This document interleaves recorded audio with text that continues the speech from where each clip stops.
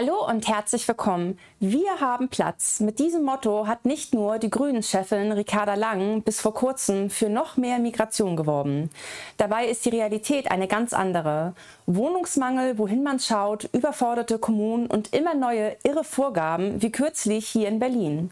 Pro im Haushalt lebende Person soll man in Zukunft nur noch ein Zimmer mieten dürfen. Über die Folgen des Wohnungsmangels spreche ich heute mit dem stellvertretenden AfD-Fraktionsvorsitzenden Sebastian Münzenmeier und Roger Beckkamp. Hallo, schön, dass Sie beide da sind. Herr Münzenmeier, was sind die Gründe für die konkrete Wohnungsnot in Deutschland?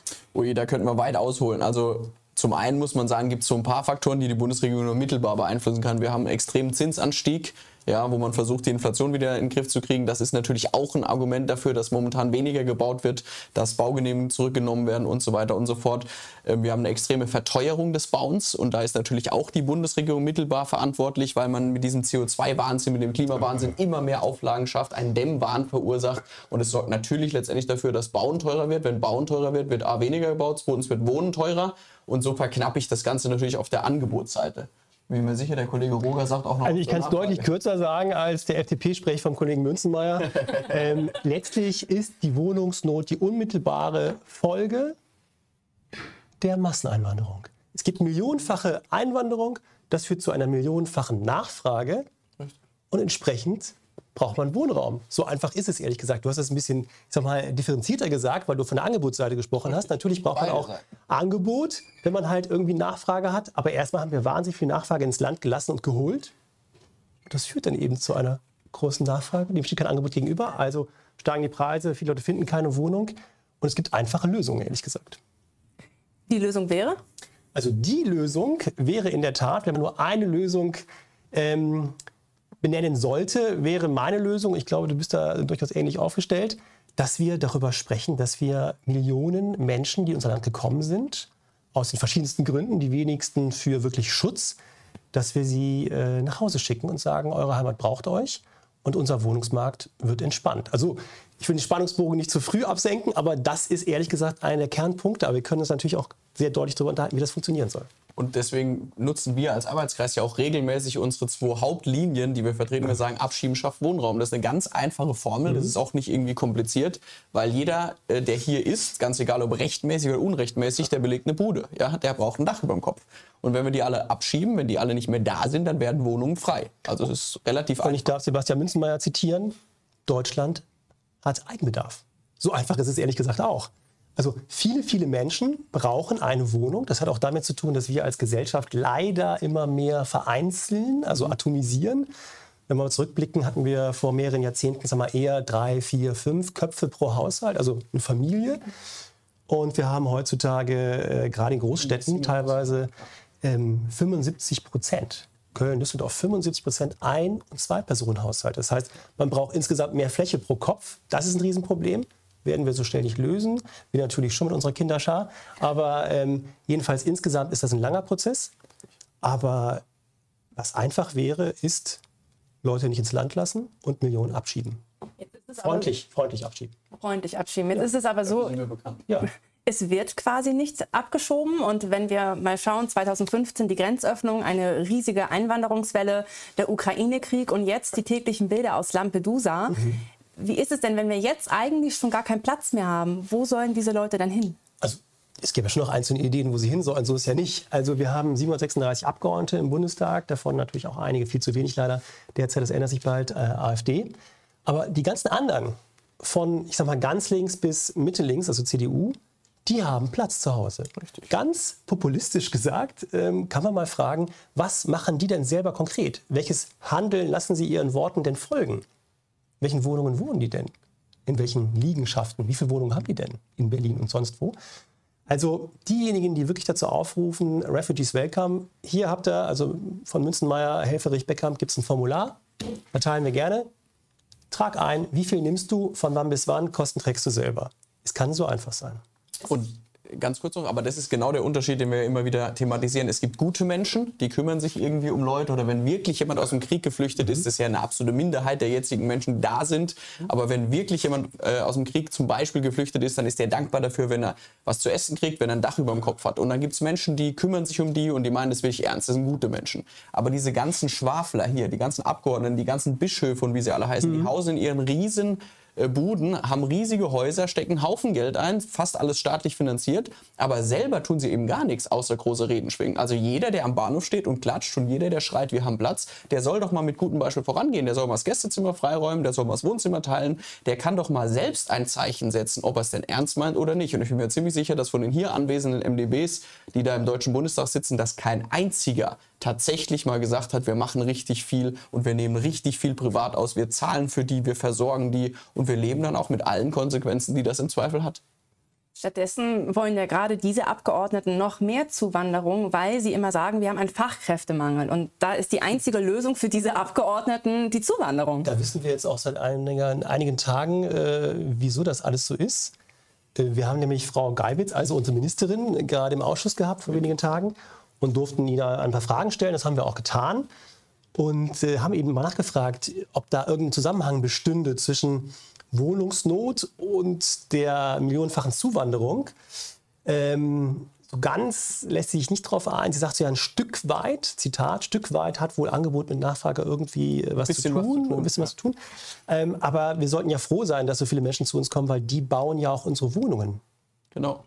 Zitat Ende. Also ich weiß nicht genau, was sie gemeint hat, aber ich glaube, sie hat gemeint, dass wir millionenfach Bauarbeiter, Ingenieure und sonst was ins Land holen, die jetzt Wohnungen bauen für uns oder für wen.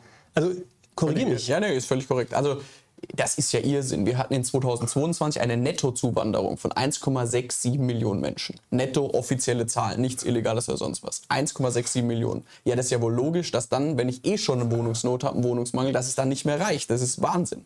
Und äh, die Prioritätensetzung der Altparteien ist da sehr interessant. Also er hat es gerade angesprochen, wir hatten Geiwitz, also die Ministerin, im Ausschuss. Und ähm, es gab ja von allen Fraktionen dann Nachfragen zur aktuellen Situation. Was bewegt die Leute da draußen am meisten? Und die SPD er hat nachgefragt, wann man sich denn endlich um die feministische Stadtplanung kümmern würde.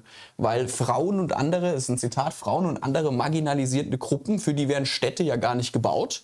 Und es wird jetzt Zeit, dass man eine andere Stadtplanung bevorzugt. Also es ist absoluter Wahnsinn, in welcher Blase die leben, in welchem Elfenbeinturm. Die Leute haben draußen keine Wohnung mehr, die können sich das nicht mehr leisten. Wir haben eine Massenmigration, die die deutschen Städte überrennen. Und da sitzt ein junges Mädchen von der SPD-Fraktion, ich glaube die jüngste Abgeordnete ist es sogar, die Emily Fons, und spricht davon, dass wir jetzt endlich mal über feministische Stadtplanung reden müssen. Also nur mal, um zu zeigen, was beschäftigt die SPD, die früher für den klassischen Arbeiter eingetreten ist, für den ganz normalen Bürger da draußen. Die sind so weit weg vom Volk, das kann man sich gar nicht Sei nicht so streng, es war zumindest eine bemerkenswerte Schwerpunktsetzung, sagen wir so. Es war auch amüsant. Es war auch amüsant. Also wir, haben uns, wir haben echt, aber, also, äh, das war seltsam. Wenn es eigentlich nicht so traurig wäre, tatsächlich. Genau, ja. ähm, das ist aber ein ganz interessanter Punkt, diese Berliner Blase, weil hier wird sich eben das Problem schön geredet oder auch einfach weggeredet. Das existiert de facto eigentlich gar nicht. Jetzt ist es aber so, dass die Wirklichkeit in den Kommunen ja ganz anders aussieht. Viele Kommunen sind völlig überfordert. Äh, die haben auch schon gemeldet, sie können keine Flüchtlinge mehr aufnehmen. Sogar das Berliner Landesamt für Flüchtlinge hat jetzt gesagt, es geht nicht mehr, wir haben wirklich keinen Platz mehr. Ähm, warum werden diese Kommunen nicht gehört? Warum reagiert die Bundesregierung darauf nicht? Weil man dann zugeben müsste, dass es dann doch irgendwas mit Obergrenze geben muss und dass man eben dann doch irgendwann den Leuten erklären muss, äh, dass wir schaffen das eine Lüge ist. Und auch wir haben Platz eine Lüge ist, eine grün-linke Lüge. Ähm, und es wird aber wahrscheinlich sogar noch weitergehen, weil dann gibt es halt dann Belegung der Turnhallen mal wieder. Und dann werden Hotels angemietet, egal was sie kosten. Und, und, und. Und dann und wird halt. Der nächste ja? Schritt ist dann eben, dass man sagt, naja, wie viel Quadratmeter pro Kopf braucht man ja. überhaupt? Es gibt ja Forscher, die jetzt immer mal wieder so einen Vorstoß wagen, natürlich völlig unabgesprochen mit der etablierten Politik, die dann sagen, naja, das Problem ist ja eigentlich nicht die Zuwanderung, sondern das Problem ist, dass die Menschen zu viel Quadratmeter pro Kopf nutzen. Also zum Beispiel das Rentner-Ehepaar, die Kinder sind aus dem Haus, da haben die trotzdem noch 150 Quadratmeter, leben in ihrem Haus. Da müssen die da halt raus, müssen die halt ausziehen, kriegen irgendwo wo ganz anders eine Wohnung.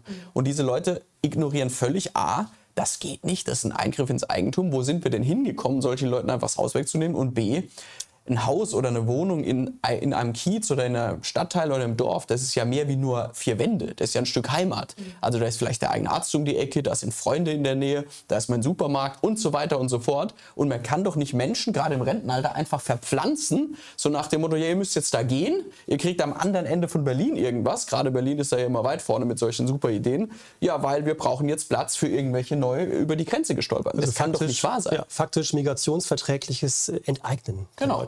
Darauf läuft es hinaus. Genau. Weil ganz ehrlich, irgendwo ist in der Tat der nächste genau. Schritt fällig. Ja. Und darauf läuft es hinaus. Und man kann aber ehrlich gesagt in der, in der Berliner Blase auch relativ schnell Zugang zu normalen Leuten haben. Ich war gerade beim Friseur, ich hoffe, man sieht das. Nee. Ähm, gerade eben, ähm, ich gefallen mir sehr gut.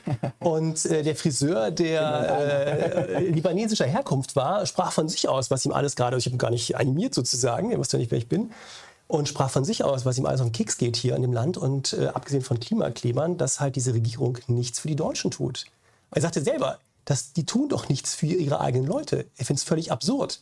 So einfach ist es. Ich habe ihn natürlich bestärkt und gesagt, naja, es wird nicht mehr so lange gehen. Bis dahin passiert noch einiges. Und der schuftet dafür Mindestlohn. Also, ich sag mal, Normalo auf der Straße weiß das. Und ich glaube, abgesehen von den Grünen, wissen das auch alle anderen im Bundestag. Nur sie trauen sich ihnen noch nicht, weil Medien noch irgendwie anders funktionieren ja.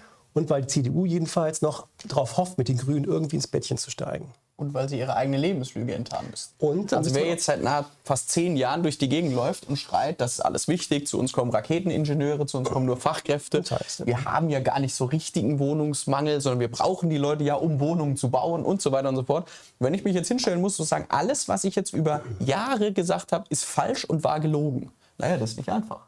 Und das werden diese Leute auch nicht machen, da bin ich fest davon überzeugt. Also wenn, muss es da zum wirklichen grundlegenden Politikwechsel geben und auch einen Wandel in diesen Parteien, dass da ganz andere Leute sitzen, weil so wie die jetzt da sitzen, die sind auch alle mitverantwortlich für das, was passiert. Ja, selbst wenn dieser Wechsel passiert und die CDU zum Beispiel an die Regierung kommt, selbst dann ändert sich manchmal gar nichts, wie jetzt hier in Berlin. Hier hat der Senat jetzt den Vorschlag ins Rollen quasi gebracht, dass äh, die, ich glaube, die landeseigenen Wohnungsgesellschaften, mhm, dass die ja. halt vorschreiben, dass äh, pro im Haushalt lebende Person man nur noch ein Zimmer beziehen darf. Das heißt, Singles dürfen nur noch in Einzimmerwohnungen leben, Ehepaare nur noch in Zweizimmerwohnungen. Wird das in Zukunft auch Zukunft in anderen deutschen Städten sein? Also je nachdem, wie sie regiert werden, ja, werden natürlich äh, CDU werden das ja äh, mal, die Vorschläge sein. Also man sieht halt die blanke Not dieser Leute, die politisch verursacht worden ist und sie versuchen jetzt die selbstgeschaffenen Probleme irgendwie auf, sagen wir mal, ganz krumme Tour vermeintlich lösen zu wollen. Und die Leidtragenden sind alle Deutschen, alle anderen Einheimischen. Und das merken aber auch immer mehr Leute. Insofern bin ich ganz guter Dinge, dass sag mal, diese, diese bittere Politik immer mehr Leute aber dann zu dem Punkt bringt und sagt, tut mir leid, Schnauze voll. Und jetzt muss ich trotzdem nochmal zur Angebotsseite kommen. Mhm. Ähm, wir haben jetzt viel auch über die Nachfrage geredet, über die Flüchtlingszahlen und so weiter und so fort. Wenn diese Regierung denn tatsächlich sagen würde, wir wollen diese Flüchtlingszahlen gar nicht antasten, aber wir bauen dafür in wahnsinnigem Tempo mhm. überall und ermöglichen das und digitalisieren extrem viel, sorgen dafür, dass Bauen relativ günstig ist, das wäre ja ein gangbarer Weg für die. Für uns nicht. Wir sehen das anders. Das muss man ganzheitlich anpacken. Aber selbst für die wäre das ja eine Option. Mhm. Aber auch da passiert ja nichts, weil da ist es dann nicht der Fremdenwahn, sondern der Klimawahn, der zuschlägt. Das heißt, ich habe an beiden Stellschrauben, an denen ich was verändern kann, bin ich ideologisch so vorgeprägt, dass ich gar nichts ändern möchte eigentlich. Und dann kommen so Schwachsinnsideen raus, da ich sage, ja gut, wenn ich nicht mehr baue und auch immer mehr Ausländer ins Land hole, dann muss ich jetzt natürlich Deutsche verdrängen, die in ihren Wohnungen leben oder muss die einpferchen und äh, alle in Einzimmerwohnungen sperren, damit ich doch irgendwas schaffen kann. Mhm. Und das ist der Weg, der auf uns zukommt, wenn sich die AfD hier nicht durchsetzt. Oder ich kippe eben immer mehr mit Geld zu. Ne? Also ich kann ja auch irgendwie sehr, sehr, sehr, sehr viel Geld in die Hand nehmen mit Fördermaßnahmen, selber bauen und so weiter. Nur das Geld ist gar nicht da. Genau. Das wird gerade woanders verbrannt durchaus auch im Ausland, aber eben auch für irgendwelche Klimageschichten. Und deswegen wird auch diese Regierung äh, demnächst gucken, wo sie eben, das teilweise muss sie es ja schon, spart. Also das ist auch eine Frage, welche Prioritäten hat sie denn für die eigenen ja. Leute? Ist auch eine, weil das ist Politik. Keine für die eigenen das ist, Leute. Das ist nämlich Politik. Wenn man nämlich sagt, wir sagen zum Beispiel auch oft gerne, ähm, dann noch bitte Sozialwohnungen erstmal für Deutsche und andere Einheimische und nicht für Leute, die gerade erst hier gekommen sind, nichts beigetragen haben und mutmaßlich auch die viele, viele nichts beitragen werden. Und dann sagt man dann von der Gegenseite, ja, das instrumentalisiert und spielt die Menschen gegeneinander aus. Da sagen wir ganz gelassen, nein, das ist Politik. Prioritäten, Richtig. wenn ich knappe Mittel habe, und das ist immer so in einer endlichen Welt, dann muss ich halt sagen, für wen sollen sie da sein? Und wir sind dem deutschen Volk verpflichtet.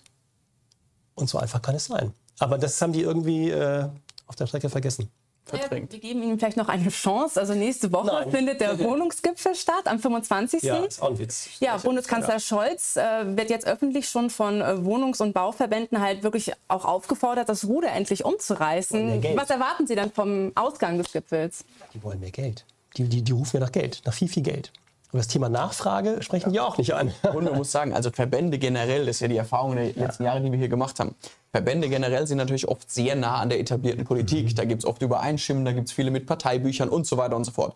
Aber wenn selbst diese Verbände, die an sich ja nicht allzu regierungskritisch sind, ich glaube, mhm. das darf man so sagen, wenn selbst da jetzt einige Verbände sagen, sie nehmen nicht mal mehr teil an diesem Gipfel, das kam ja heute Morgen, dass mhm. der eine oder andere gesagt hat, wir nehmen da nicht mehr mehr teil, weil es eigentlich eine Showveranstaltung ist, ja, weil es dann nur um die Öffentlichkeitswirkung geht, so nach dem Motto, ich mache ja was dann sieht man, wie groß die Not wirklich ist. Und was soll dabei rauskommen? Also wir haben ja gerade über die Stellschrauben geredet, an denen man drehen könnte. Ich glaube nicht, dass Olaf Scholz sich nächste Woche hinstellt und sagt, naja, wir machen die Grenzen dicht, wir schieben millionenfach ab und wir sorgen dafür, dass alle Klimaschutzvorschriften äh, zumindest mal gekürzt und eingedampft werden, sodass Bauen wieder günstig ist. Das wird was helfen. Du hast Aber gerade auf die AfD-Programme aufgezählt.